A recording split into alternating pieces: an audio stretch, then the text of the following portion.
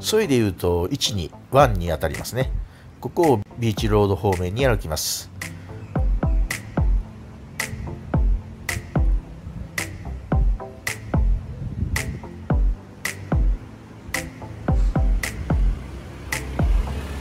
この日泊まるホテルはレジデンスです。サービスアパートメントタイプですね。プロンプレイスレジデンスって宿です。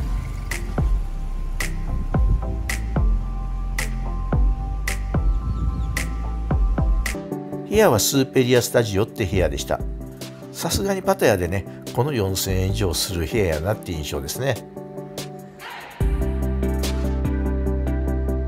部屋の広さも30平米ありますから広々感も抜群です、えー、窓からもね太陽の光がしっかりとさんさんと入ってきますただ部屋はこの見た目ほどは新しくはないんですよね、えー、建物自体がもう20年以上の築はあるって感じです。しかしレジデンスなんでね、えー、電子レンジあるんがええですよね。えー、晩ご飯はスーパーで買ってねこれで温めました。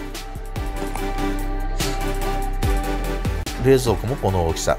無料の水が2本。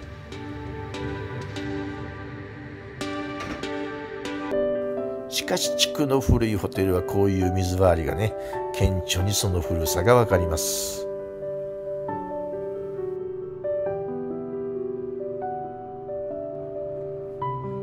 このシャワーとトイレの配置もうシャワー浴びたらねトイレは水浸しです。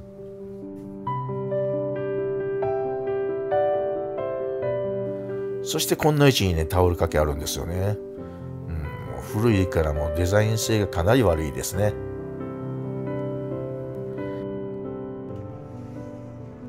あとこのボディーソープとシャンプー。壊れてました。